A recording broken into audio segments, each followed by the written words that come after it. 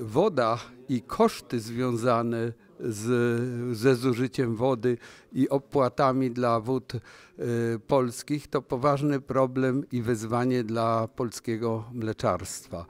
Wodę musimy y, oszczędzać, wodę musimy racjonalizować i y, przeprowadzać jej recykling i odzyskiwać z procesów mleczarskich.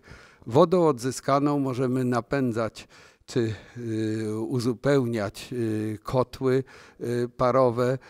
Ta woda może służyć również chłodnictwu, również możemy dla celów zasilania na przykład skraplaczy natryskowo-wyparnych stosować wody opadowe, zbierać je w zbiornikach retencyjnych i za to również mniej zapłacić dla e, wód polskich e, czy dla e, miast i urzędów gminnych.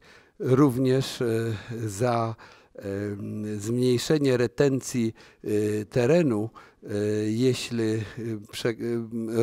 poniżej 70% i a działka ma wielkość 3500 e, metrów, e, to e, w tym momencie przy działkach większych musimy zapłacić za to, że nasza, że wody opadowe nie mają bioretencji w gruncie.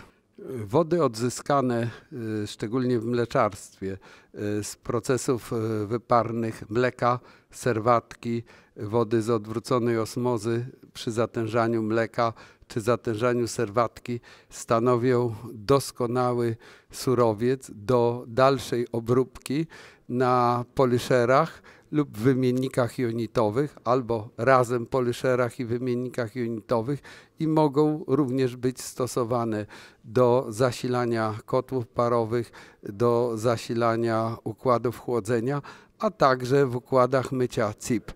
Tu pamiętać musimy, że ostatnie płukanie musi być e, wodą pitną, czyli wodą wodociągową.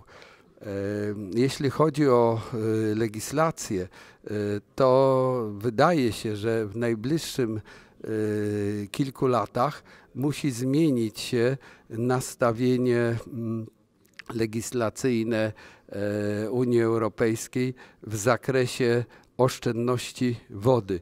W przypadku, kiedy możemy wodę odzyskać żywności i ją natychmiast dajemy również do żywności, y, do układu produkcyjnego lub do układu technicznego, to wówczas y, y, ta woda nadaje się do tego celu. Na dzień dzisiejszy przepisy tego zabraniają. W nowych dokumentach BREF w których omawia się najlepsze techniki, y, najlepsze dostępne techniki y, dla żywności, przemysłu napojowego i mleczarskiego. W tej chwili te parametry są y, wykreślone. Natomiast e, wydaje się, że zostały po to napisane w latach 2016-2018, e, żeby ujrzały swoje światło dzienne w najbliższym zakresie. Więc spodziewamy się, że będzie e, ku tej oszczędności pozytywna deklaracja, czy to w formie dyrektywy, czy rozporządzenia Parlamentu i Rady Unii. Dziękuję.